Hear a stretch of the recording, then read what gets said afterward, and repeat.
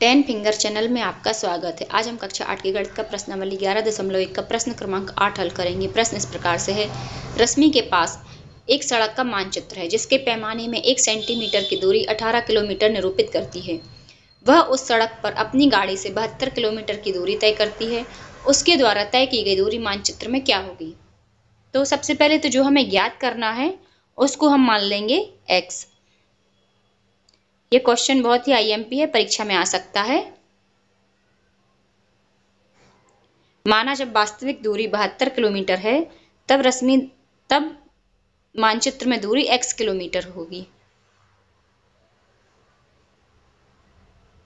अब ये देखिए, वास्तविक दूरी हम किसको बोल रहे हैं? जो रश्मि के द्वारा तय की जा रही है। और मानचित्र पर तो किलोमीटर में नहीं दर्शा सकते, उसको तो हमें सेंटीमीटर में दर्शाना पड़ेगा।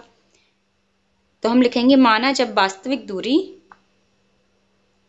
बहत्तर किलोमीटर है, तब रश्मि द्वारा तय दूरी, सॉरी, तब मानचित्र में दूरी एक्स सेंटीमीटर होगी। अब देखिए, हमें जो डाटा दिया है, ये जो प्रश्न दिया है, इसके आधार पर हमें टेबल बनानी है। एक कॉलम में तो आ जाएगा। वास्तविक दूरी और एक में आ जाएगी पैमाने, मानचित्र में दूरी। जो वास्तविक दूरी है, वो तो किलोमीटर में आएगी। और जो मानचित्र में दूरी है, वो आएगी सेंटीमीटर में। मानचित्र तो आप लोगों ने देखा है ना?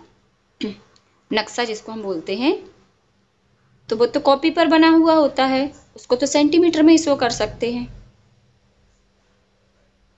तो जब हम बहुत बड़ी बड़ी जगहों के जो नक्शे हैं, जैसा प्रारूप है सड़क का, वो हम मानचित्र में कैसे दर्शाते हैं? सेंटीमीटर के रूप में दर्शाते हैं। अब मान लीजिए कि रश्मि ने बहत्तर किलोमीटर की दूरी तय की, यहाँ से लेके यहाँ तक गई।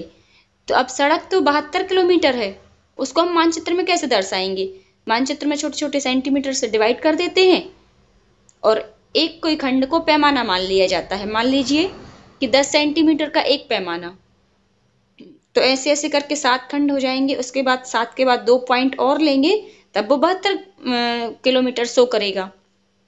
अभी हमें इतना डीपली नहीं जाना है। अभी हमें केवल मानचित्र में दूरी ज्ञात करनी है।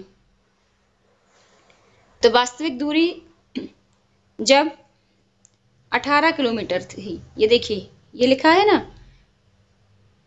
एक सेंटीमीटर की दूरी अठारह किलोमीटर निरूपित करती है। ये अठारह किलोमीटर किलोमीटर वाले खंड में लिख दिया। और ये है मानचित्र में दूरी एक सेंटीमीटर जब वास्तविक दूरी बहत्तर किलोमीटर है, तब हमें मानचित्र में दूरी ज्ञात करनी है। इसको हमने एक्स मान लिया। तो यहाँ पर हम लिखेंगे,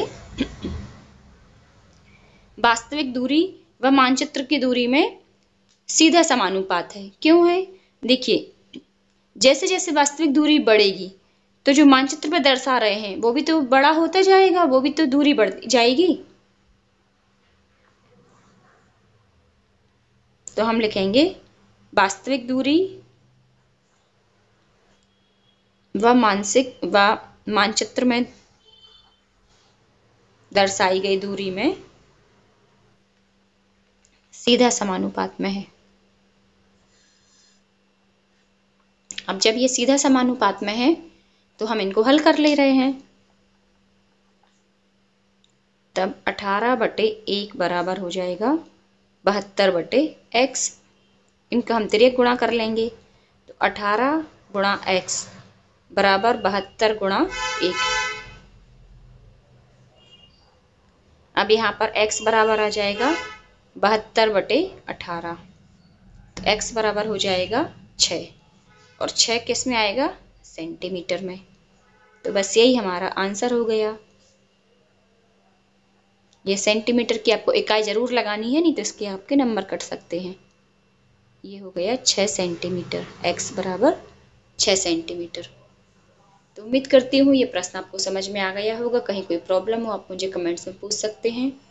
नेक्स्ट क्वेश्चन के लिए मिलते हैं। नेक्स्ट वीडियो में तब तक के लिए पढ़ते रहिए, मस्त रहिए।